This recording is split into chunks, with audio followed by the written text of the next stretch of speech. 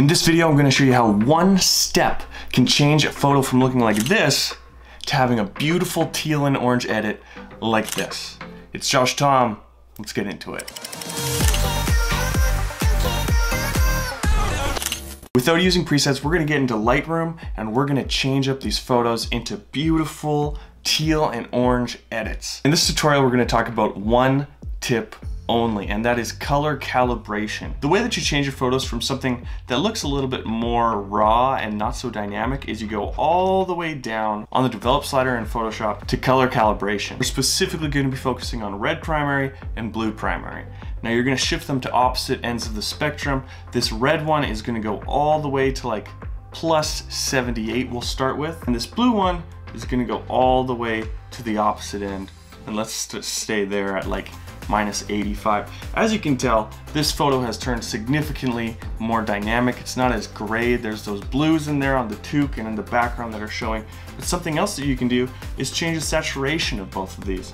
So if I change the saturation of the blue, you can really see that that orange actually comes through because they work together in tandem. Pull out some other colors that interact really well with the opposite end of the color wheel. In this case, I think I came a little bit too strong on the blue, so I'm just gonna scale back the saturation, maybe bring in a little bit more saturation in the red primary. So this is your base layer. After this, you can go back and do some standard edits, maybe some curves, what you'd normally do on a photograph to bring out some more dynamic look. This is another picture that I started with, used that exact same process and changed a few of the settings around, and we've got this. I'll do one more live on camera. So here we've got an underexposed photo. So the first thing I'm gonna do is change the base of what we're dealing with.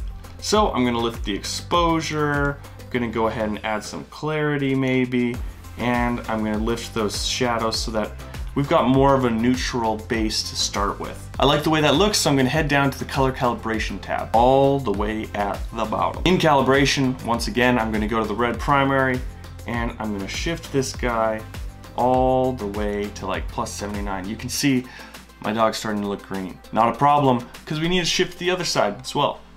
So we're gonna go to blue primary, shift this guy, and, ooh, we're starting to get some red out of there. That's kind of more of my dog's natural color, so that actually starts to look pretty nice. I can bring back some saturation if I think it's too extreme, or if I really want to go for a crazy edit, I can pump that saturation and make him look as yellow as I want. For this photo, I'm gonna meet it in the middle, kind of like that, but I'm gonna add a bonus tip that you can add to some of your photos in case you want a little bit extra spice. And that's adding a graduated filter. So what you're gonna do is go up to the top, click graduated filter, and drag it from whatever side you deem deserves a little bit of extra sauce. For this photo, I think that it's gonna come from the right because all you see really is this bland house. So I'm gonna bring this graduated filter all the way across like that, bring my saturation back to around zero, and then what you can do is you can change just the temperature like this in either direction to add just a little bit,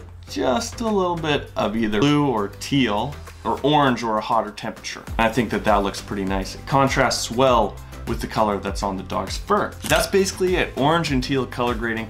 Easiest base level in one single tip. I hope you guys enjoyed this video. Please send me your Instagram link in the comments below and I'll check out your photos. It's been Josh Thom. Thank you so much for watching and I'll see you in the next one.